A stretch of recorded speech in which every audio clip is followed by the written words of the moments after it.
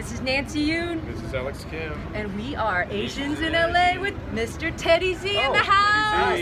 Crazy Rich Famous Asians premiere on the red carpet. Get in here, Teddy. Oh, Are you a crazy rich Asian? uh, I'm crazy and poor Asian. Welcome I'm to still Hollywood. crazy. That's a good thing. All right, you guys excited about the movie? Oh yeah, Yeah. it's Did really you see it yet?